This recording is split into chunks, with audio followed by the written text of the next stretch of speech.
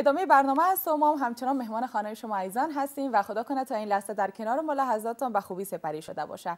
در این لحظات برنامه مهماندار هستیم. جناب آقای روح الله احمدزی سخنگوی وزارت دفاع همراه ما هستند و می‌خوان بیشتر در ارتباط بر روز سرباز یا نهم هود روز حمایت از نیروهای امنیتی صحبت های خوبشون همراه ما شریک بسازن مهمان محترم ما رو منتظر نمیمونیم. رستم جان خوب است که به طرفشان بریم و در ارتباط با نهم هود بیشتر صحبت اونا را داشته باشیم. بله روی جان مهمان ما همین لحظه. روی خط اسکایپ با ما وصل شدن. آقای احمدزی سلام وقت شما بخیر. خیلی خوش آمدین. به ها زندگی. سلام سلام. امیدوار هستم شما هم خوب باشین و یک سلام ویژه برای بینندای عزیزتان. امیدوار هستم که هم خوب باشن و روز خوب را آغاز کرده باشن. بسیار تشکر. سلامت باشین. ما هم خوشحال هستیم. از حضور شما در برنامه. ابتدا می خواهیم که در رابطه به نهم هود روز ملی سرباز یا حمایت از نیروهای امنیتی کشور بر ما معلومات بتین که چگونه یک روز هست و هدفش چه هست. تشکر. قسم که شما آگاه هستین روز ملی نیروهای ملی دفاعی و امنیتی افغانستان در تقویم افغانستان جا گرفته در تقویم سالانه البته که روز نهم هود است و از این روز هر ساله بزرگداشت میشه.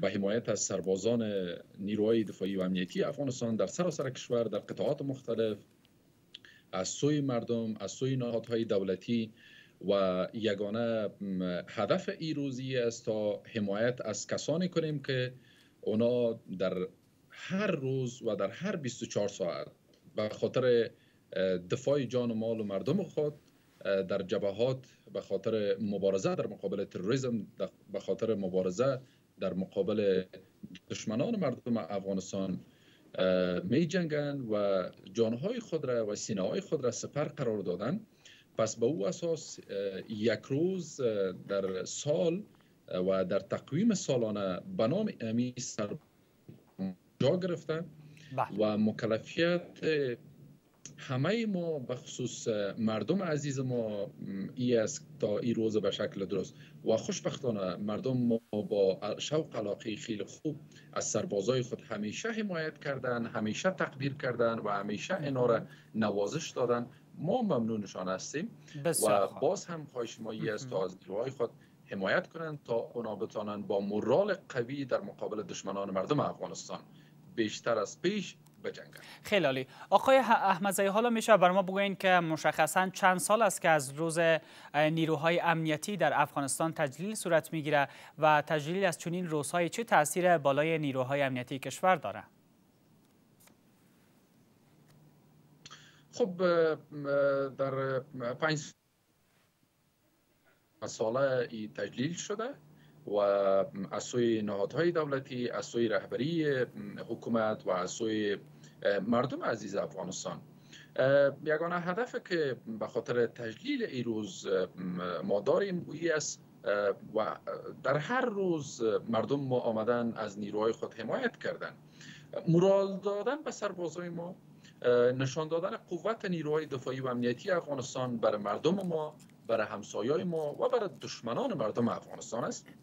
تا اونا ایره بدانن که نیروهای دفاعی و امنیتی افغانستان در هر شبانه روز و در هر لحظه برای هیچ کس ای اجازه را نخواهد داد تا امنیت مردم افغانستان را مدخل بسازه و یا هم باعث تهدید بر مردم افغانستان شود و این نیروها پاسداران اصلی و مدافعین اصلی ای خاکی کشور و جان و مال مردم هستند.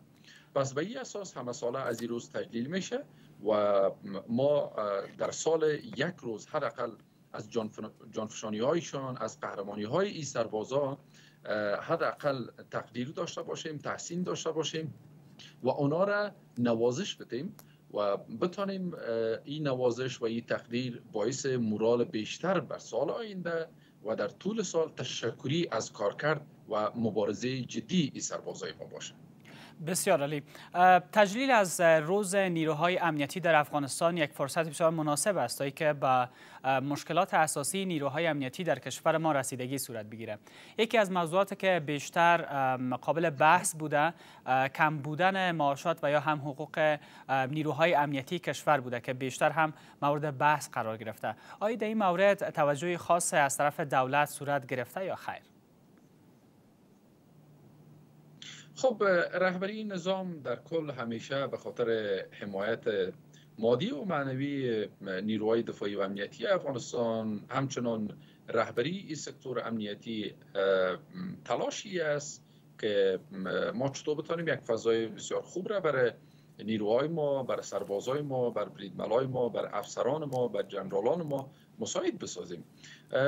خب چیزی که حقوق فعلا برشان تعیین شده به اساس لزوم دید و به اساس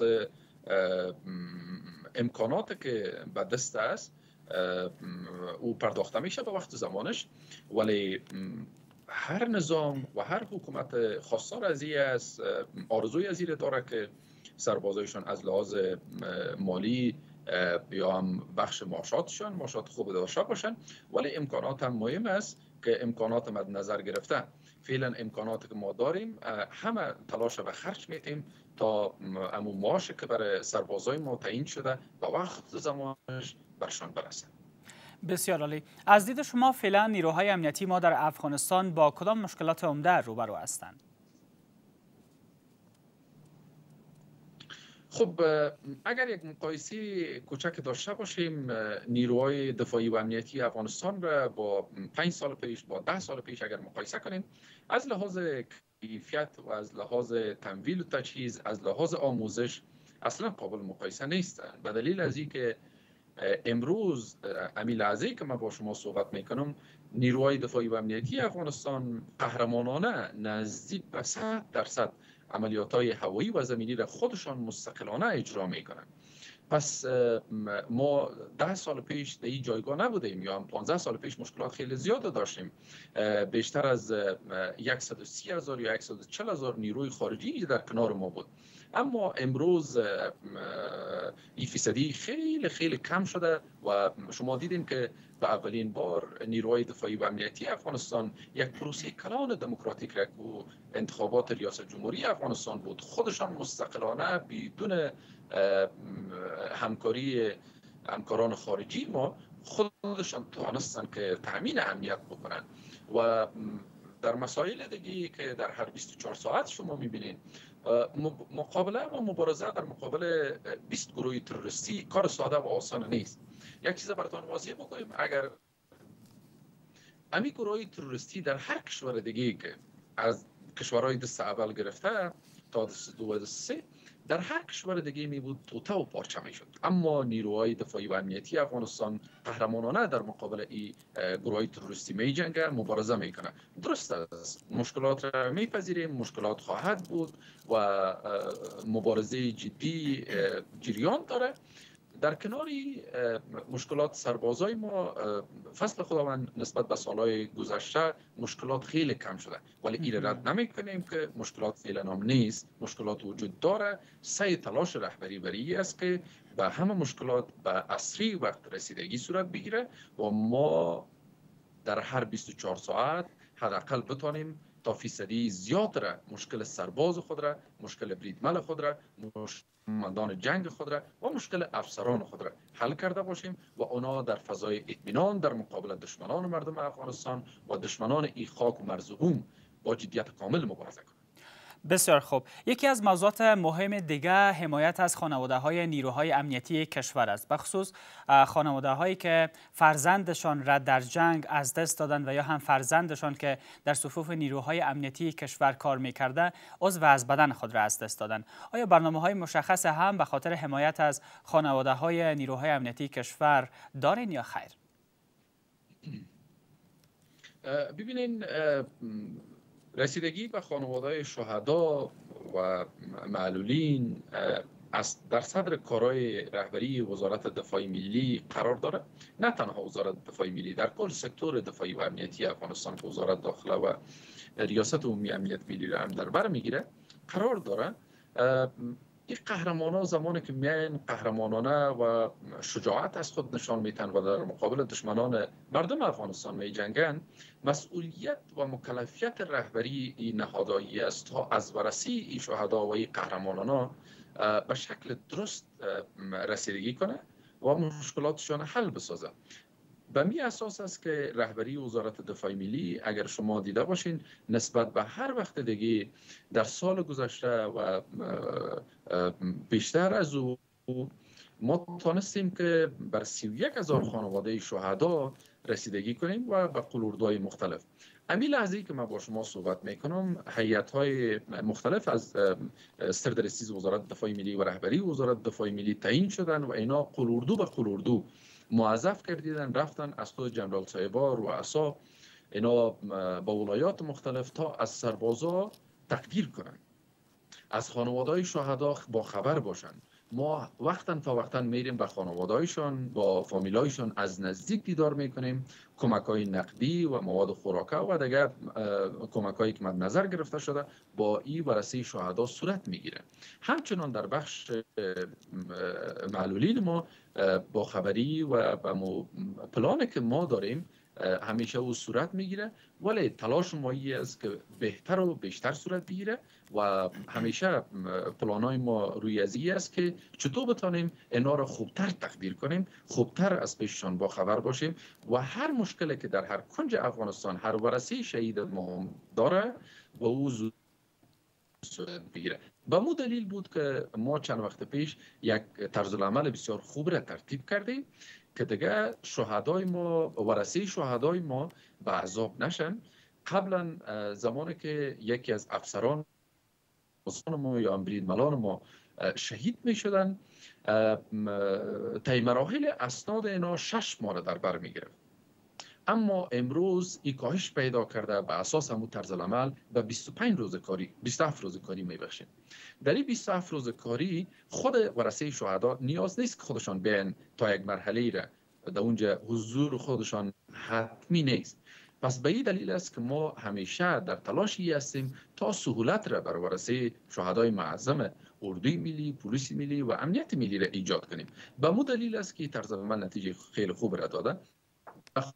روز سرباز امی لحظه حیات های ما به قلوردهای مختلف رفتن در جواب و از نزدیک از سربازای ما دیدن صورت می‌گیره. اونا را تقدیر نقدی و تحسین میشه و ستایش از کارکردشان میشه. پس به او دلیل این بله. اراده در رهبری وزارت دفاع ملی وجود داره که رهبری خودش نباید در مرکز باشه باید در خط نبرد در کنار سربازش باشه در روز سرباز. بسیار خوب. حالا آقای احمد زید در رابطه با امکانات وسایل و تجهیزات که در دسترس نیروهای امنیتی ما در افغانستان قرار داره بر ما معلومات بتین که در مقایسه با چند سال قبل چقدر از امکانات بهتر برخوردار هستند و چقدر وسایل و تکنولوژی های جدید در دسترسشان قرار داده شده. خب من پیشتر براتون گفتم از لحاظ تقویه نیروهای ما اگر مقایسه داشته باشیم با سالهای قبل چه 15 سال پیش باشه یا 10 سال پیش تفاوت های بسیار عظیم را ما شما می‌تونیم مشاهده کنیم. او تفاوت ها از لحاظ آموزش از لحاظ تمویل و تجهیز. در بخش تمویل تجهیز هوایی و زمینی فضل خداوند نیروهای دفاعی و امنیتی افغانستان بخصوص اردوی ملی افغانستان کاملا تجهیز شده. و فعلا ما میریم طرف خودکفایی که حداقل تا سالهای آینده نزدیک ما بتانیم نیروهای دفاعی و امنیتی افغانستان خودکفا شود چون خودکفایی نیروهای دفاعی و امنیتی افغانستان بستگی داره با خودکفایی حکومت افغانستان و این نظام و این کشور. تلاش و اراده رهبری حکومتی است که ما بریم آهسته آهسته قدم بگذاریم به طرف خودکفایی. ولی از همکارای خارجی ما از کشورهایی که با ما همکاران استراتژیک هستن از اونها ممنون هستیم. در بخش های مختلف با ما همکاری های خیلی خوب را داشتن. در سطح منطقه اگر ما شما ببینیم بعض اوقات صحبت های میشه که فلانی کشور به این چیزا دسترسی داره. اما نیروهای دفاعی و امنیتی افغانستان و ارگانهای امنیتی افغانستان کمتر از اونا نیستن. اونا امکانات خیلی خوب را ما امروز در دسترس داریم. چی از لحاظ هوایی و چی از لحاظ زمینی؟ مهمترین مسئله ای است امکانات در اختیار ما قرار داده شده. خوشبختانه که نیروهای دفاعی و امنیتی افغانستان و منصوبین که در مو بخش مشغول کار هستند اونا آموزش خوب دیدن که اونا می‌تونن از این وسایل و تجهیزات به شکل درست استفاده کنند به طور مثال بخش هوایی امروز عملیات های هوایی را نزدیک به 100 درصد خود نیروهای دفاعی و امنیتی افغانستان انجام میدن و در مقابل تروریستا در مقابل دشمنان مردم افغانستان هدفات و ضربات را که وارد می‌کنن به پیشینه است. بسیار خوب. حالا میشه در رابطه با بعض بورسیه های صحبت بکنین که به خاطر آموزش بهتر به نیروهای امنیتی کشور در نظر گرفته شده تا اونا بتانن تعلیمات بهتر نظامی در خارج از کشور داشته باشند آیا بورسیه های مشخص هم در این سالها وجود داشته؟ کاملا کاملا. بورسی های ما به چند بخش تقسیم شده که کارمندان ملکی کارمندان نظامی و بررسی شهدای ما است. ما این امکانات را و این فرصت ها را مساعد ساختیم. با کشورهای مختلف ما در تماس هستیم. تفاهم نامه امضا شده.